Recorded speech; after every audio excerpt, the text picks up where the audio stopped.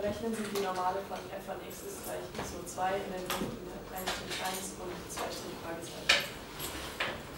So, für die Normale verwenden wir die Formel für die allgemeine Normalengleichung. y ist gleich minus 1 durch f' von u mal x minus u plus f von u.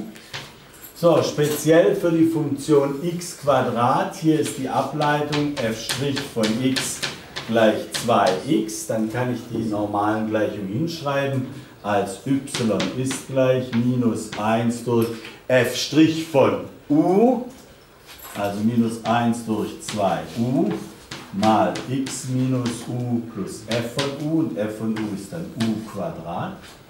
Und jetzt setze ich hier ein x gleich 1, ja, das ist diese 1 hier, diese 1, die setze ich hier ein und ich erhalte y ist gleich minus 1 durch 2 mal 1 mal x minus 1, da muss ich eigentlich u schreiben, u gleich 1, also das ist x, aber trotzdem setze ich fürs u ein, mal x minus 1 plus 1 ins Quadrat. Das kann man noch ein bisschen umrechnen, das ist dann y ist gleich minus 1,5 x minus 1 plus 1 oder y ist gleich minus 1,5 x plus 1,5 plus 1 ist plus 1,5.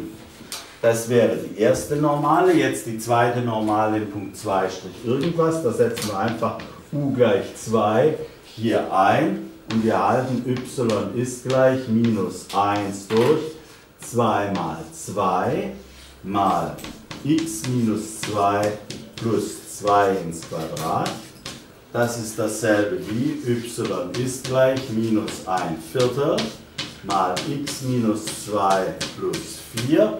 Dann muss ich das hier ausmultiplizieren und ich erhalte y ist gleich minus 1 Viertel x. Minus 1 Viertel mal minus 2 ist plus 1,5, also plus 4,5.